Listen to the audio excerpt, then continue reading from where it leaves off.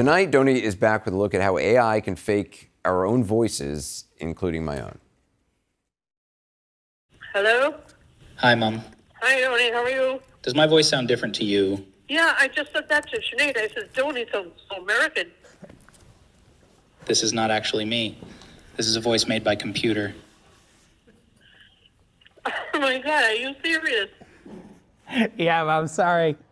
There has been an explosion in fake audio and voices being generated through artificial intelligence technology. This is an AI cloned version of Walter White's voice. This is an AI cloned version of Leonardo DiCaprio's voice. All you need is a couple of minutes recording of anyone's voice, and you can make it seem like they have said just about anything, even Anderson Cooper. We've come here to UC Berkeley today to talk to Hany Farid, a digital forensic expert, about just how easy it is to put words into other people's mouths. It's a lot of fun. sure. But it's also really scary. I think once you put aside that gee whiz factor, I don't think it takes a long time to look at the risks. This is Wolf Blitzer. Hany Farid, you are in the Situation Room. That sounds That's good. Pretty, that, that sounds That's pretty good. good. By uploading just a few minutes of me and some of my colleagues' voices to an AI audio service, I was able to create some convincing fakes, including this one of Anderson Cooper. Donie O'Sullivan is a real piece of shit. That's AI. Is it really? That's AI. That's good. Yeah, Anderson is, is really good. Man. Because Anderson doesn't have a stupid Irish accent. The technology did struggle with my Irish accent, but we decided to put it to the ultimate test with my parents. I am about to try call my mom back in Ireland and see if I can trick her with this voice. Yeah. Think I'm going to be successful? I'm nervous. I'm like, my hands are. All right. Hello? Hi, Mom. Hi, Donie. How are you? Just finished shooting our story here. I'm going to the airport in a while. right. There seems to be a delay in the phone, Donie. Can I say a quick hello to Dad? Yep. How you doing here? Hi, Dad. How are we getting on?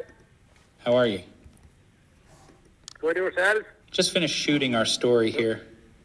I'm going to the airport in a while. How are you? Oh, you come back? You come back again now? Are Kerry playing this weekend? They're playing Carroll on uh, Sunday. My dad went on to have a conversation with the AI Donie about how Kerry, our home football team, had a game that weekend. Eventually, I had to come clean. Dad, I'll give you a call better later on. Could you just put me back on to mom for a second? My parents knew something was off, but ultimately they still fell for it. Oh, yeah. s- Some of it don't do that, but it was like um, it was like your voice was a little tone lower and it sounded very serious. Yeah. Like you had something serious to say. Because I went, oh, geez, my heart was hopping first. Oh, sorry.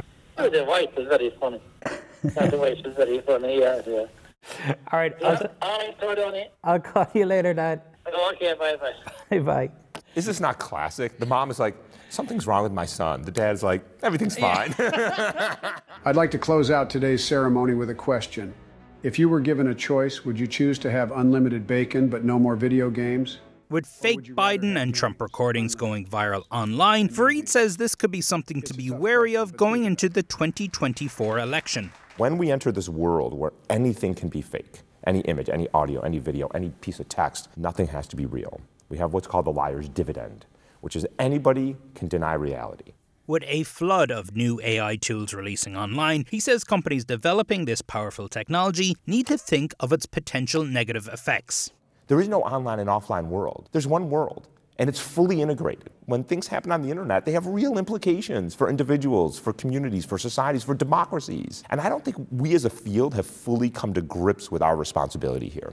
In the meantime, I'll continue annoying my colleagues. Hear this thing Anderson said? Mm-hmm. I've been doing this a long time. I have to say, Donie O'Sullivan is probably the best in the business. Incredible. It's very kind of him to say that It's really, as well. you know, you should be honored, really. I would never say that. Um, no, you are. Uh, so, uh, I mean, this is fascinating to me. I, I, it's amazing. It's it's funny. It is also scary. I mean, as you point out in that piece, you could take somebody's voice, call their your, your mom, and you know have some scam against her, saying you were in trouble and needed you, you to wire money immediately. Yeah, I mean, my parents are never going to believe I when I pick up the parents. They phone. were so sweet. up the phone to them again. They'll be like, "Is this really Tony?" Um, but look, you know, we had a bit of fun with it there. But this technology is so crazy powerful to create the deepfake of you. We only needed a minute or two of audio. That's incredible. And you could immediately start typing, putting words in your mouth. Yeah. Um, look, obviously, as we go into 2024 election, think about the role that audio has played in previous campaigns. Yeah. The Access Hollywood tape, uh, the Romney tape, uh, the percentage, and even the kind of the Watergate tapes, all that sort of stuff, as well as just, as you mentioned, the kind of scams, uh, tricking people. Um, Vice did a report where they were able to break into a Yeah. bank account that had a voice. uh, I think of it from a perspective of somebody who has died and a loved one who wants to hear their, you know, their loved one's voice and, and even, you know, commune with them. Mm. That's the potential for, in the future. That would be easy to do now, and as well with something like ChatGPT, where you could mimic what they would say, right. Yeah, put the two of them together. Yeah. It's incredible. Uh, Donie O'Sullivan, thanks so much.